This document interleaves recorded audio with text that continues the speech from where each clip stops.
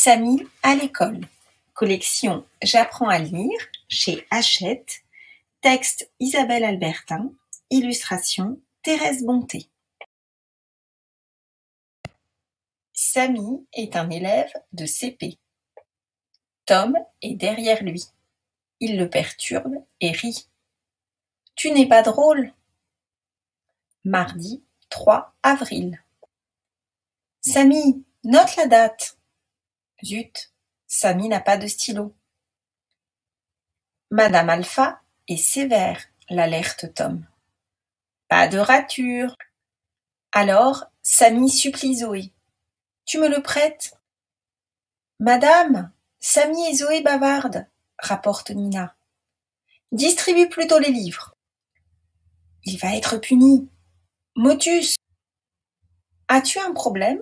dit Madame Alpha. Il y a du matériel sur la table là-bas, rappelle-t-elle à Samy.